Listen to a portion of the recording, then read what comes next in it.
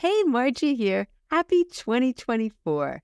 If figuring out the right treatment for osteoporosis, osteopenia, or what you can do to have strong, healthy bones throughout life is something you're interested in this new year, then you are in the right place. Because today I'm going to share some tips from my upcoming summit that you can put into practice right away that will have positive effects on both your bones and overall health. And to do this, my husband Craig is joining me, and he's an OBGYN. So lots of great information. Stay tuned. Welcome, Craig. Thank you so much for joining me. And I'm really excited because it's the new year. And I want to share some of the really fabulous tips from the summit so people don't even have to wait the two weeks. They can get started on some of these things right away that really can make a big difference to their bones, overall health, and happiness. And I'm looking forward to listening to you because I need some more tips in my practice. God knows I know a lot, but I need more of the Margie stuff. So why don't you tell us a little bit about some of your new tips on osteoporosis treatments? Okay, so I think what we'll do, I think we're going to start. We're going to start with the medications. And, you know, in my past summits, we the first summit I didn't even address it because it was all on natural approaches to osteoporosis and I didn't even address the medications at all because I wanted to share all the incredible things that people can do besides medications. But what happened with that is that people then thought that you know there was no place for medications. They didn't realize that there absolutely is a place and the key is we want to prevent fractures. And so then the second summit what I did I just asked every doctor, you know, all the integrative doctors who were on the summit, what was their feeling about medications. But for this summit, I decided to take it a step further and have a whole talk on medications, but with Dr. Keith McCormick, who I think is the absolutely best person to talk about this because he's been use, me, using medications for so many years in conjunction with an integrative approach. And I think when we look at it like that, we see how they can be effective and when they're needed. And, you know, I, I think that really helps people make a decision because that's probably one of the biggest questions I ask, you know, should I go on medication? And it's not a simple answer. And it's not an answer one can make without without doing a lot of evaluation to really see where they're at. So I think this talk is so incredible and the good news is that in the summit, there's three talks that can be that with the minute you register, you get three early talks. So I made sure this was one of the talks that people get right away with Dr. McCormick. And I really asked him the details. What number is on your test and how do you decide? So I think if you're considering a medication as part, I mean, this is the key. You know, the, what I liked about Dr. McCormick is that first, his number one um, approach is through diet, nutrition, and exercise. And the number two area is medication. So he that says it's necessary for some people, but it's not the number one thing. Because what I see, I don't know if you see this also, Craig, is that when people people think it's an either or, you know, okay, I'll go on medication or I'll try the natural approach. Well, it's not like that at all. It's that regardless of what you do, even if you decide to use a medication, you still need to address diet, lifestyle, you know, nutrition, all those stress reduction, all those other pieces are critical. So I think this talk is so great because it just it will just help you if you're on the fence and it's you know the key is this you know because there are people who have very low bone densities maybe like minus 4.5 on their DEXA and they're like, no matter what, I'm not using medications. And then they have a fracture. What Dr. McCormick explains, we can use this temporarily, it's not forever, but to get us out of the woods if we really do have low bone density, to help build bone or stop the bone loss for the short term while we're doing all the other integrative approaches. So I think that was just so incredible. I have a couple other things to say about that, but do you want to? Share what you've had with your experience? You know, what, what patients ask you in terms of medications? Well, I think I'd rather say first is that too often I see patients who come in who are already being rec- with recommendations to start medicines, after about a 10 minute talk in the primary care doctor's office. They got a DEXA scan report back. They have osteoporosis, and there's not much conversation other than you should go on medication. And I think that's a lost opportunity. And so I always ask them to go back and, and look at lifestyle and, and exercise, all the things you mentioned in detail, and also to go back and, and find someone who's helped them dig down and figure out what the root causes are. And then they can go back and make those decisions. But I mean, in a 10 or 15 minute visit with your primary doctor, you really are not going to get much more than just a quick response. And, and they think they're doing a good job and they go on to the next patient and don't even think a second thought about what they just told you. Right. And the truth is, I don't fault them because that's what they've been taught you know what? If someone has minus 2.5, get them on Fosamax Act, whatever it is. And you know what else is interesting that I learned through Dr. McCormick is that sometimes this is so horrible. The insurance will say if someone because there's different classes. I'm not going to go into that because just listen to the talk. It's so good. But that the insurance might say, oh, no, no, you can't go on one of the bone building medications. First, you have to try one of the um, bisphosphonates or one of the Fosamax or Actonel because it's a lot less expensive. When in reality, that's not the right medication. It's, I mean, I thought that was just so horrible. So it's just something you need to dig deep, figure out. And that's where, just like you said, 15 minutes is not going to be enough. And what I really love, the, some of the testing, and that's also in the summit. Doctor, he does two talks. One was really an amazing talk on, and I think it's day one actually, on on testing. And besides the talk that he does, which really goes into the testing, and I think the biggest thing in that testing is the CTX and the P1NP. And the reason being, you know, when you get the value on the DEXA, you just don't know. Is someone actively losing bone or did they just never develop enough, you know, when they're a child? What's going on? And so the CTX is such an amazing test because it shows that it shows the osteoclast activity, the bone breakdown, what's happening. And, you know, you can have a very high CTX and meaning you're actively losing bone. So that person is going to be treated very, very differently in, versus someone who doesn't have that and maybe just didn't develop bone as a kid. You know, they were a couch potato or they had eating disorders, you know, just so many issues, or they're having issues with their osteoblast, the bone building cells, which you would find out from the P1NP. So he goes, I'm not going to spend all the time on that, but I thought that what the other thing I did do, because there's so much information and um, with, with, with his talk, but what I also added as part of the gifts people get when they when they joined the summit is I did a 30 minute, actually probably 40 minute recording just on, you know, integrative approaches to osteoporosis and the basics. But I also included a four page handout about the different testings. So it makes it clear, it makes it easy. You can have it as a reference. So that the minute you join the summit, and it's all free, you can just download, you know, go to the gifts and it's the gift that goes with improve your bone health video course. So under that, you'll get the four page handout on the testing. So, but before we end the testing, I just wanted to say two things that I wanted to share that was part of his talk because I think it's so important.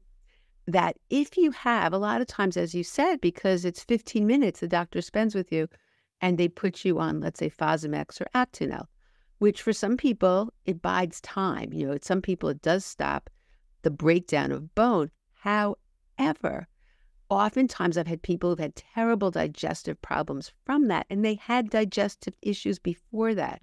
So if you have any digestive issues, this would absolutely not be something you should go on. You could use Reclast instead, which is an infusion which is not going to affect your digestion. And then the second thing I wanted to say is that you have to have an exit strategy because sometimes the doctors don't tell you that, for example, if you go on Prolia, which has pros and cons. One of the pros, though, it can really help the hip. But the con is that if you go off it, you can't just go off it because your bone density will start decreasing worse than it was before you started. So you have to have an exit strategy, which is usually going on something like Reclast. But anyway, you can listen to the whole talk. It goes in detail, but I just wanted to share those things with everybody. Yeah, and I think you know, when you said an infusion, you meant to tell a patient an infusion means you get it intravenously, right, Margie? Yes. Yes. Good. Now, I'm very excited about the second area you're going to talk about today, which is about exercise, because this is something that kind of got you into this whole arena of osteoporosis. And it's an area where you seem to have found a niche and, and found an awful lot of people who are on the summit who are fantastic in this area. So I'd really love to hear what your newest and interesting information is about osteoporosis and exercises. Yeah, I think the big takeaway here is that you know, people were afraid if you have osteoporosis, you know, we know resistance exercise is important and that's been talked about. However, they've really been showing now that you can do more, you know, high intensity resistance training. And we talked about it in the summit before about you know, about this LIFTMOR study.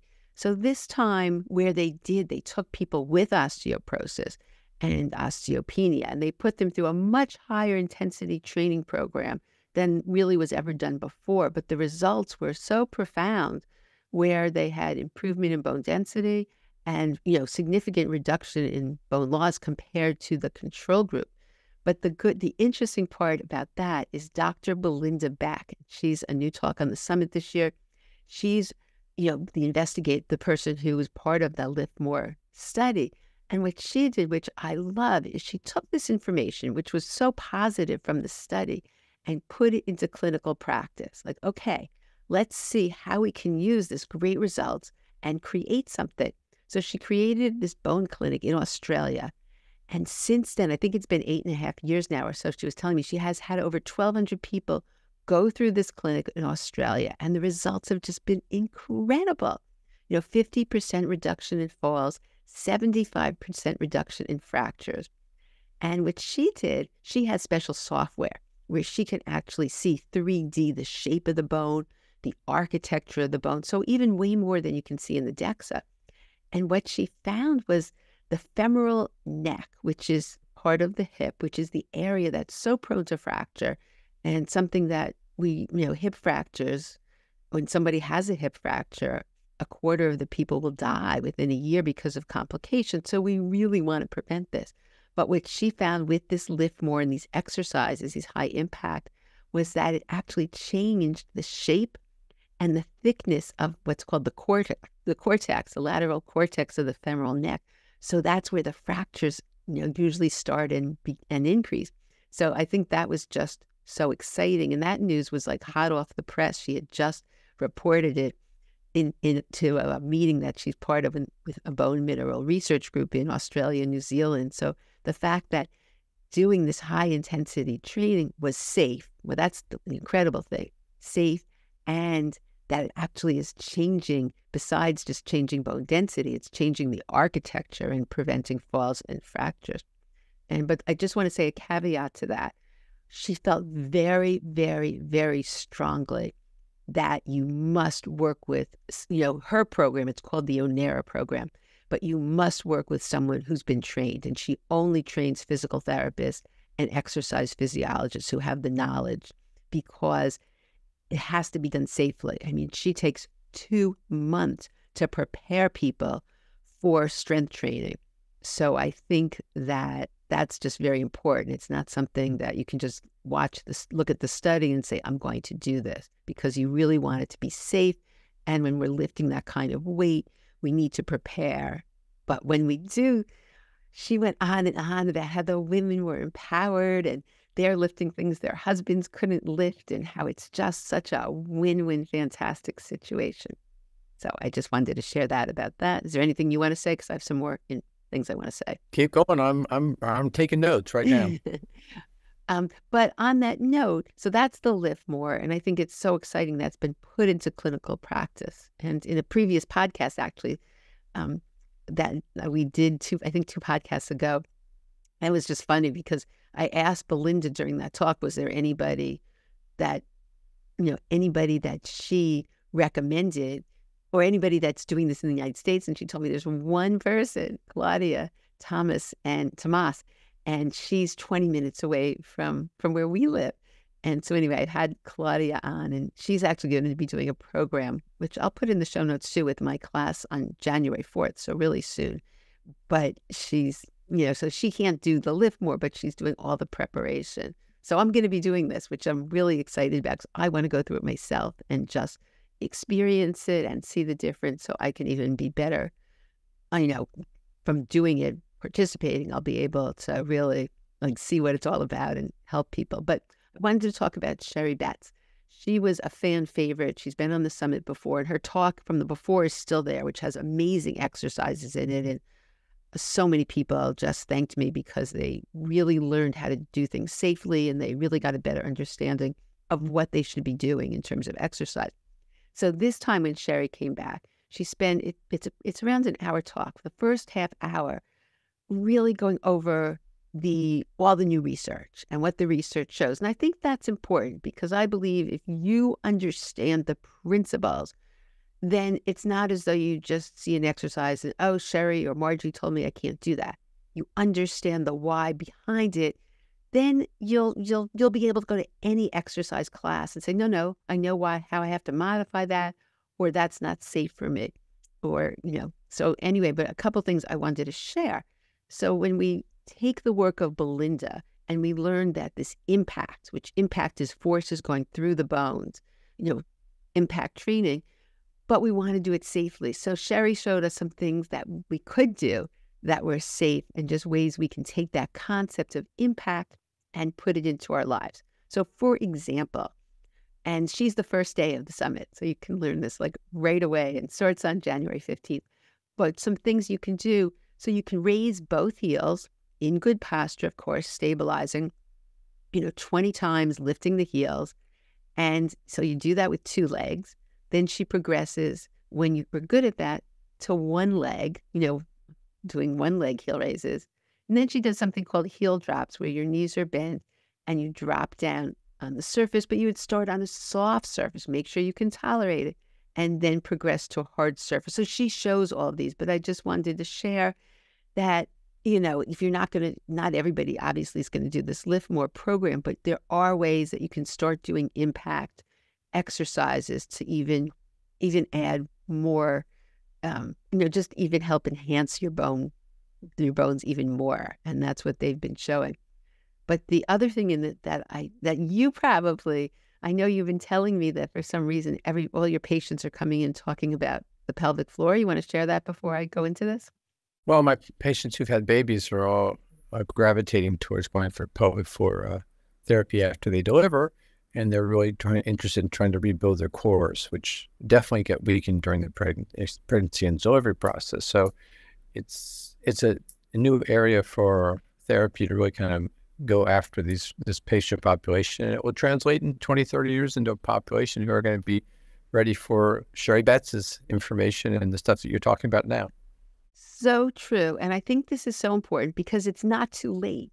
I, I find it so sad when people, you know, are really having problems of incontinence and other things that truly aren't necessary and can be prevented and they just don't know. But if we're the point that's so important, if we're starting to do strength training, we must, must stabilize the pelvic floor because otherwise we could put too much force on it and actually aggravate it.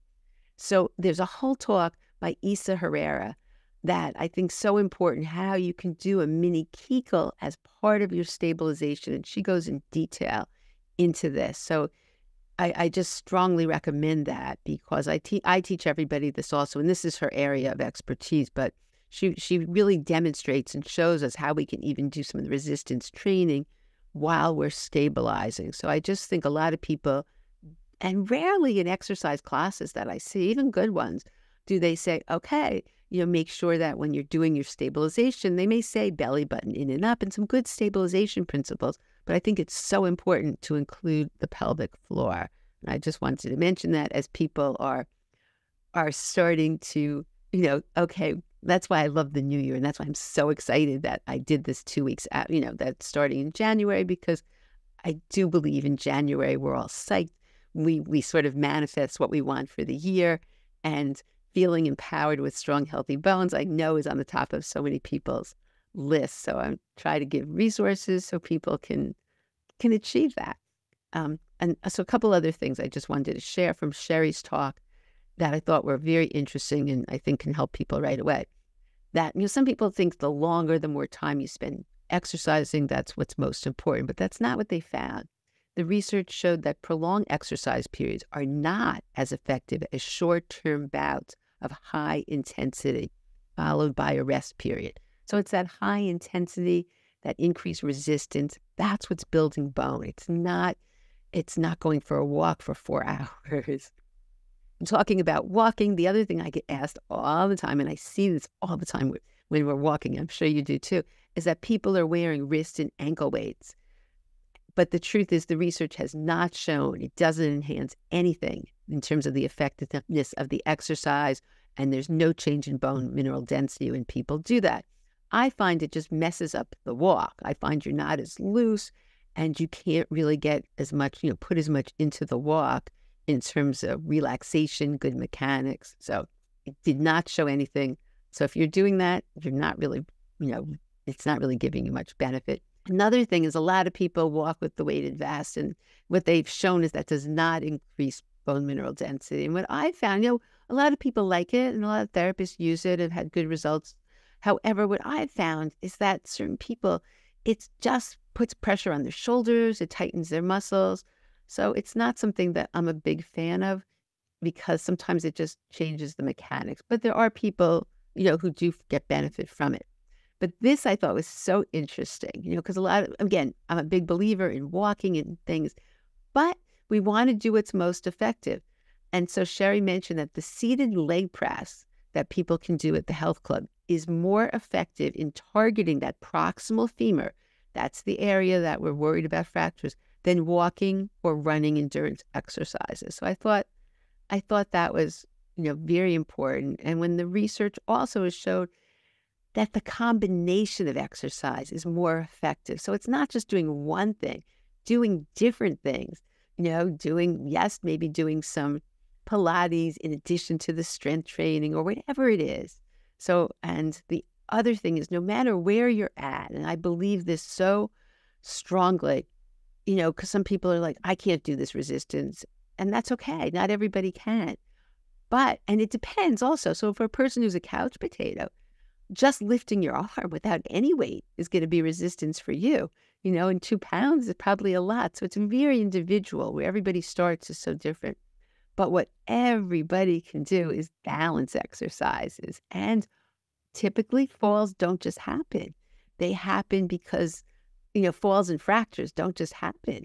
They happen because of a fall. So working on your balance is something I, I'm such a big believer in. And, you know, it's something everybody can do. It's not hard. It doesn't take a lot of time, but the results are amazing. I mean, just think because working on your balance, you, uh, you prevent a fall. And I see that all all the time, which is which is so wonderful. So, in terms of balance exercises on the summit, I just want to tell people my my absolute favorite actually is the is the Bone Strong Qigong with Matt Jeffs, and he's on the summit, and he actually demonstrates this really great little routine.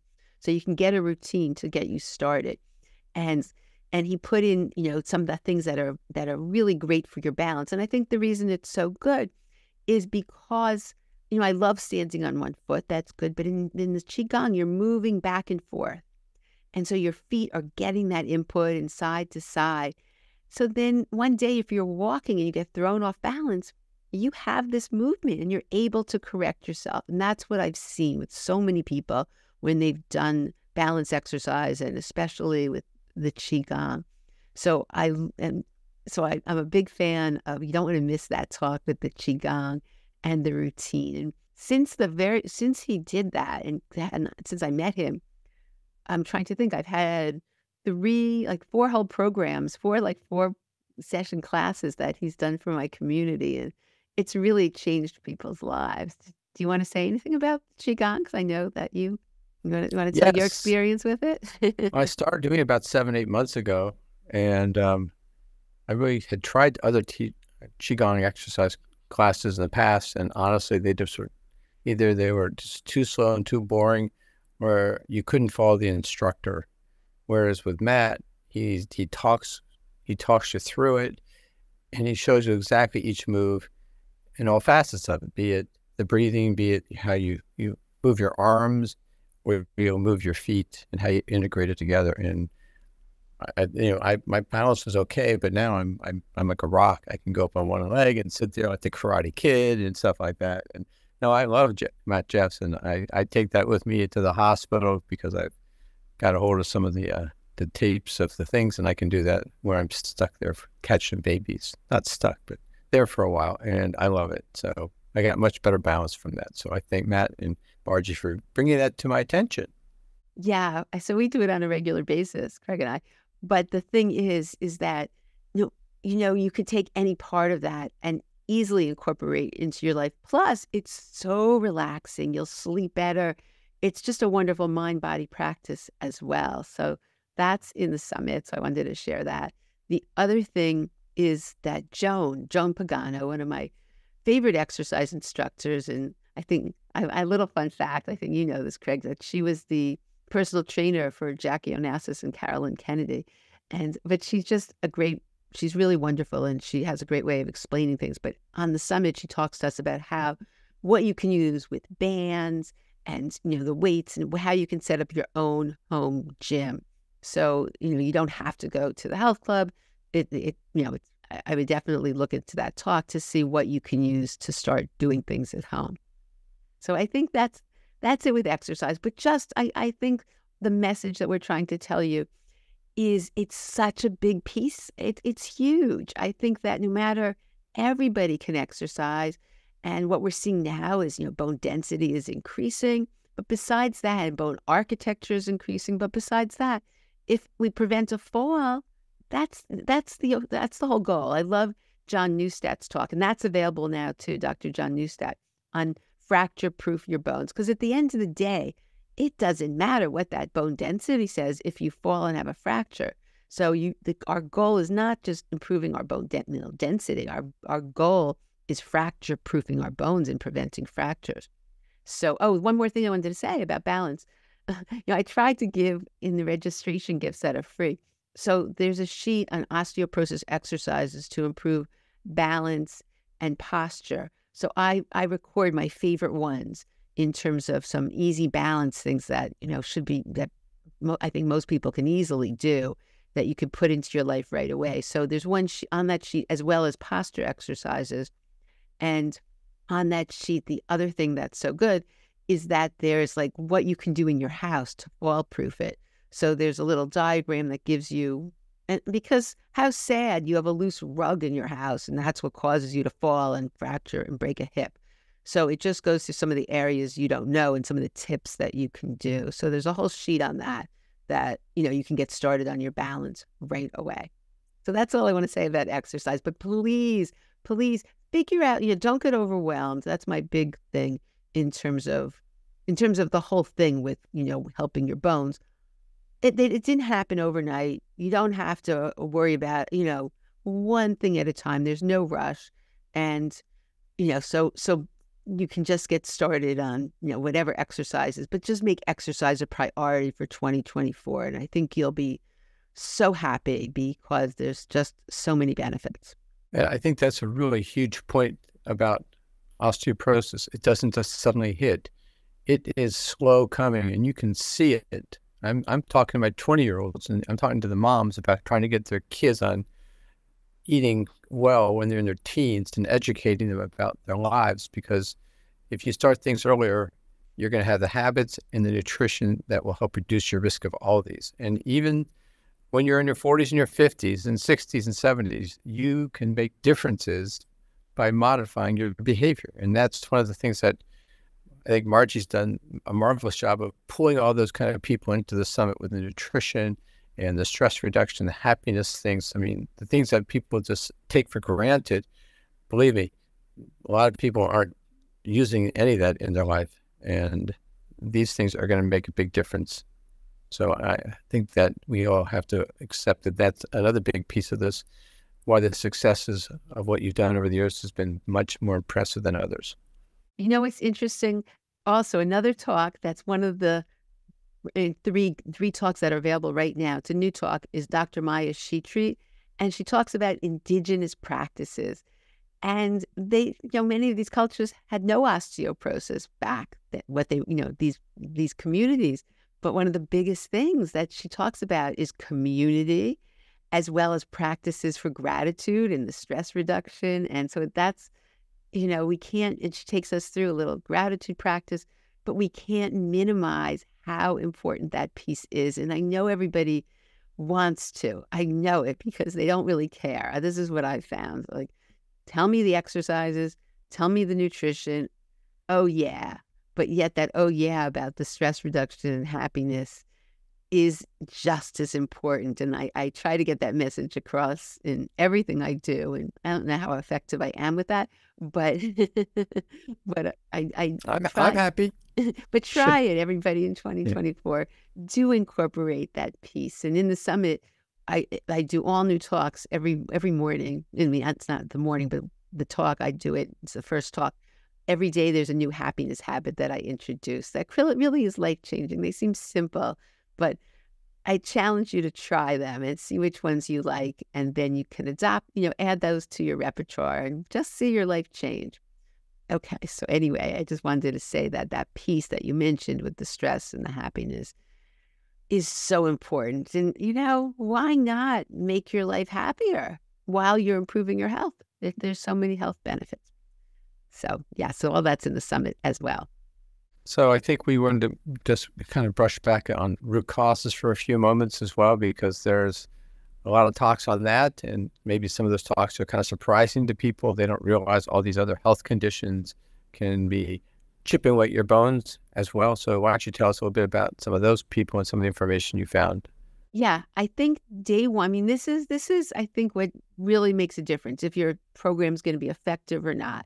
Is that you know, anybody can go on a medicine or anyone can exercise. And yes, that's all important. But if you're missing the root cause, so let's say digestion is one of your root causes, and it's sort of as though, you know, you're you have a hose and you're watering your plants, and then you step on the hose. So you're giving yourself all this good food, but then you're stepping on it. You know, you're you're not digesting it. So you're not going to be absorbing the nutrients that are needed for your bones. You must, no matter what you do, you must address the root causes. And so I have so many different practitioners discussing different things. And day one, though, back to Dr. McCormick, he goes through the testing. Um, but I also have people talking about blood sugar and even mold. You know, anything that causes inflammation is going to increase the activity of the cell that break down your bone. So we need to deal with this. Peter Kahn talks about having enough energy and like how you would deal with certain, you know, with certain autoimmune things and certain conditions, what would the order be? So there's just a lot of things. Even something called mast cell activation could be one of your root causes. So I think it's really important to see um, another talk that's that I had. What I wanted to do this year is add things that I felt people would really benefit from. So Dr. Kim Millman has been working for 15 years. I don't really know anybody you know, other than Dr. McCormick, but she's an MD, her specializing in osteoporosis, an integrative approach. So she has been doing all the things we've been talking about for over 15 years. So she put together an actual master class instead of she has a class in there for that she did in terms of uh, case studies that was very helpful. But she put together this master class called the Healthier Bones Master Class, where she goes through her integrative approach as well as some of the root causes and she gives some practical steps. So I'm going to share just just a few little tips that I thought were so interesting from her talk, which you definitely don't want to miss because it's full of really great information and she has slides and she just put this together in such a great way. So one is glucose, and I see this all the time where people will get their glucose tested. That's a, that's a test that people do get, you know, most doctors order that as part of the panel. And sometimes if there's a question, they'll order an A1C, which is which is a measure of like three months your average glucose. But here's the thing people with diabetes and insulin resistance have a higher fracture rate. And they found that the A1C of 5.7 to 6.4. Now, 5.7 is just considered pre-diabetes. And I can't even tell you how many women I see who have 5.7, 5.8, and the doctor doesn't even alert them to it because it's not diabetes. But yet they found that if you have an A1C of 5.7 to 6.4, you have a 24% higher risk of fractures than people below 5.7. So the point is, it's really helpful for so many reasons to work on your blood sugar. And what the most important thing, what Dr. Millman said, is to reduce your glucose spikes when you're you eat something and your glucose shoots up. And you can tell that on something called a CGM, you know, continuous glucose monitor. But these glucose spikes are more damaging than when you have flatter curves. So just a couple things I wanted to share. I could spend you know, hours on this, but this is just a few things. So what she recommends, which I do as well, is that when you're having carbs, combine, don't just eat a carb that could, you know, if you're eating a piece of bread or a carb, combine it with fiber, protein, and fat. And she brought up a study that I wasn't aware of, but the, the results are something we can easily put into our life.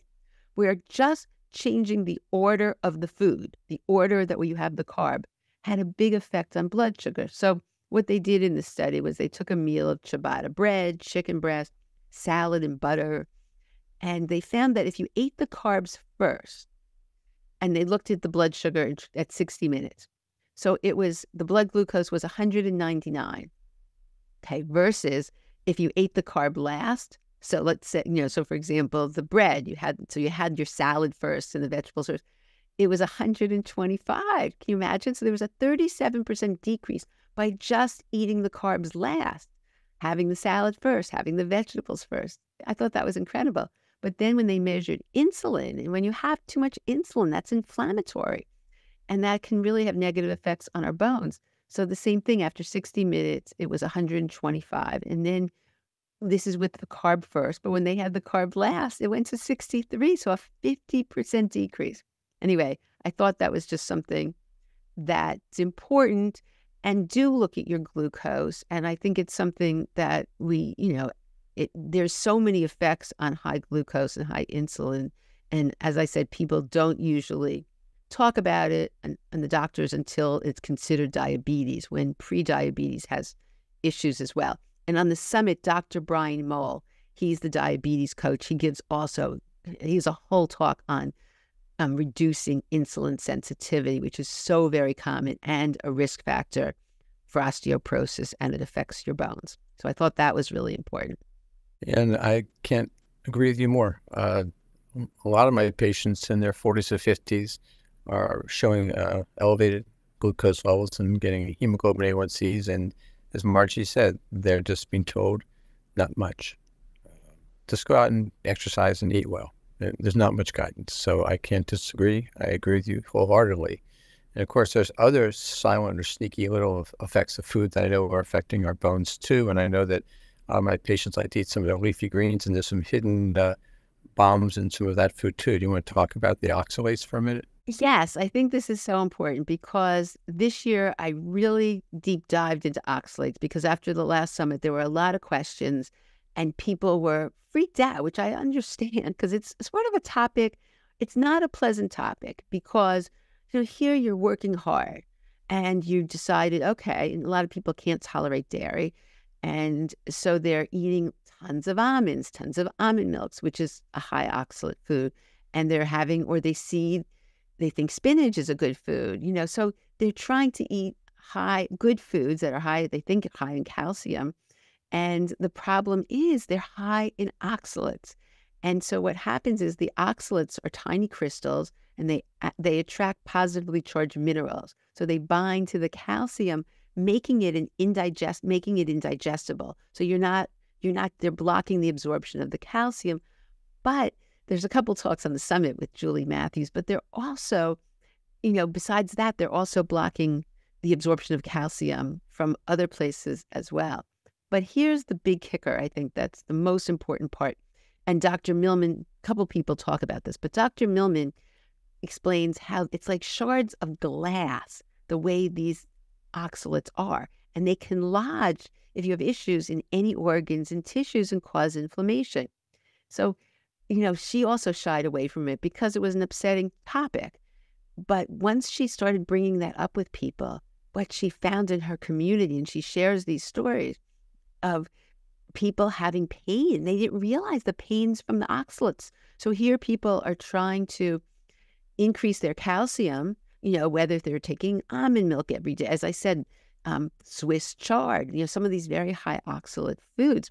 But one woman, 90% of her neck pain was gone when she reduced the oxalates. And you have to sort of do it slowly. You can't just stop them. Um, another person had chronic UTIs. This is interesting for you, Craig, with your patient population. Several people had chronic, but one person in particular, chronic UTIs. And she was able to get rid of that with getting, you know, with, with reducing all the high oxalate foods in her diet. Another person had chronic leg and muscle soreness. So it's a it's something I think people need to look at if they have these symptoms, they can't figure out what they are. So on the summit this year, as I said, Dr. Millman explains what she's seen with her community, which is just so great. And then Irma Jennings, Irma Jennings talked about oxalates, and she's, you know, a health coach who deals with osteoporosis. And she shows us, first of all, she made some great charts. So she shows us her really fabulous charts of the high oxalate foods and what you can substitute. And then there's something called a Cronometer, which is an app. So she shows us how you can actually use the app. So the point is, she takes this information on oxalates and puts it into practical use. And I think it's, you know, a really good talk. And as I said, it's not something we can hide away from. And certain people, it can be life changing just to know this might be an issue. Not that you can't have these foods, but not to always have high oxalate foods. And you can, you know, and you can make substitutions. And it's just a matter of knowing about this. So, yes, that's so interesting. Yeah, you bring up some really interesting points. And I know we're going to be closing our conversation in a few minutes, but sometimes the things you, you drop out there, I listen to, are, are, are changing lives, even for my patients. And, you know, Deva Boone is a great example, who's a, a parathyroid surgeon. And, you know, the information that you related to me about her talk about the, the calcium levels, which we see on all of our patients who have a complete metabolic profile, we glance at them a little low, a little high. We just flush them out because that's what we've been trained. But in reality, they're different based upon your age. And because of Deva Boone, I went back to Margie with one of my patients who was 42 years old, and she turned out to have a slightly elevated calcium, just 10.9, and 10.8 was normal for her age or below her. It, I think she had, is that what she had? Because really they say it was just a little high. Anybody it over was. 10, over 40, it's considered high. Right. Yeah. Well, but if on the, if you look at the data in, you know, published by the lab companies, it's 10.8. And so, you know, I just kind of left it. And then I remember talking to you about it. And turns out that we went back to Deva and she said, no, follow her up. And she had a parathyroid tumor at age 42, which she had removed to, since she had the summit. So, you know, sometimes you know, the doctors for you, this, this is not stuff that we learned. And I, I wish I had enough time and energy to go back and kind of listen to everything I do, but, and we write it down and not forget any of it. But I think that's just one good example of how, you know, the summit just has a lot of things in it that you wouldn't think about. Um, and I can think the other thing which it reminds me is about exercise. And one of the big things that we started with, God, 25 years ago was how people were doing exercise that was just wrong uh, for them. People were doing, you know, these, you put the hands above the head and pulling down heavy weights. And I had patients, you know, rip, their rotator cuffs. I've had, you know, we had patients who injured themselves when they're trying to do the right exercise. And now here you are showing them the right exercises, how to live their lives differently and it makes a huge difference. And these are the little little things that people don't always appreciate. That the subtlety of what you're trying to give people is there's so many new tools that are just part of their daily life that they stop and look at it. They can say, "Oh my God, I can't believe I was doing that sit up that way," or "I shouldn't have done it that that." that it's amazing. I haven't hurt myself. And so I appreciate that a lot. And, and I know the summit is just full of nuggets like that. And you always see to be able to draw those out of your and your interviews from your your uh, people you talk to. You had this nice and sneaky way of getting people to fess up and tell you stuff that maybe uh, they weren't planning to tell you about certain conditions. Well, the truth is that it's a labor of love. You know that. I do know that because it is. It's always. It's. But the. But I get. I. It's. It really warms my heart when I hear that someone changed their life or they found a practitioner. That's the other thing that a lot of people listen to someone on the summit, and there are a lot of people who work virtually. You know, whether it's Dr. McCormick, um, Dr. Lani Simpson will look at, she doesn't see patients, but she will review someone's DEXA scan. And, you know, and if you need another opinion, or they're just people. Um, Dr. Tabatha Barber is a functional gynecologist. Dr. Felice Gersh, who's in California, has seen numerous people, and Dr. Millman. So the point is, people find the practitioner or someone they like. You know what?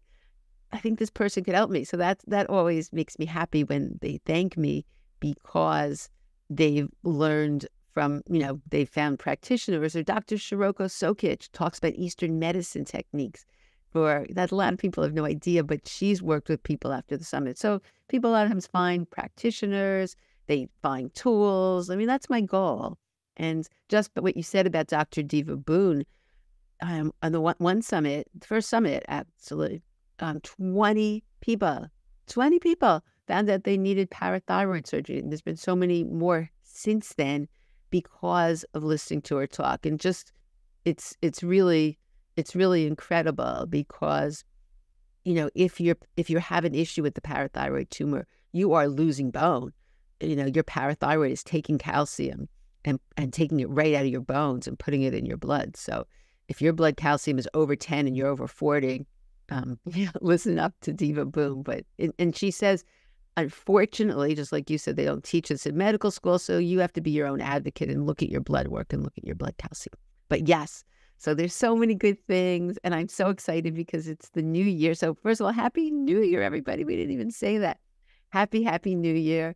And I'm such a big believer in manifesting. So you just visualize yourself whatever you want, you know, that you, you're healthy bones and you're active and just put that out to the universe because I really believe that's all possible for you. I can't say anything other than you said is correct. I can't even get that level of encouragement and excitement that you can generate in that second. That smile is just a killer. And I love you.